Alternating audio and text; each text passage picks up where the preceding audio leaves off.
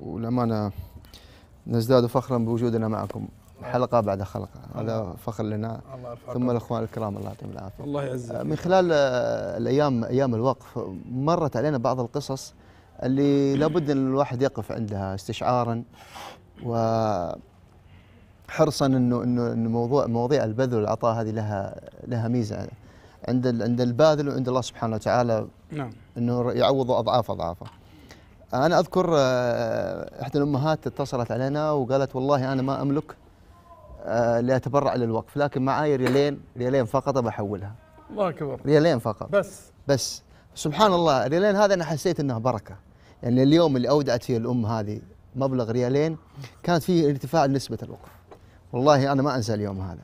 إضافة إلى قصة أخرى آه، اتصل علينا أحد الإخوان من المنطقة الجنوبية. والله يا شيخ قال لي أنا ما أملك.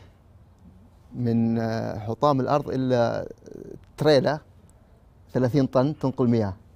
هذه اللي أملكها. بتبرع فيها للوقف. فأنا حاولت إني اقنعه إنه إنه طالما إن هذه اللي عندك نحاول قال لي أنا والله خلصت النية. تجارة مع الله. إني انه بتبرع بقيمتها أو بتبرع فيها كاملة تصرفها للجمعية.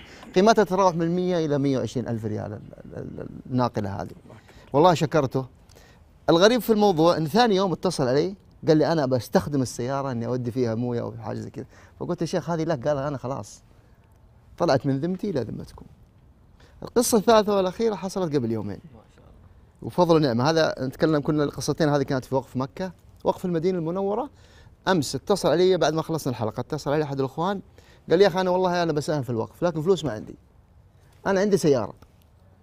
أبغى أضعها تحت تصرف الجمعية. رجل كبير في السن. فقلت له الله يجزاه خير وشكرته وأعطيته رقم أحد ال- ال- الزملاء في الجمعية قلت له تواصل معه ويشوف ال- العم هذا وش يبغى. تخيل اليوم الصباح اتصل علي ال- ال- الزميل الأستاذ ماجد قال لي بعلي الرجال اللي اعطيته رقمه أمس يقول جاي بنفسه بيجيب السيارة إلى املج من الرياض يوديها املج يا أخي أنا أقول والله الإنسان لازم يستشعر الأمور زي هذه. الناس يا ربي أعطاها خير وأعطاها يعني وينها مثل هذه الأعمال يعني؟ فسبحان الله ما يتبرع إلا الإنسان الموفق. لهالشيء هذا.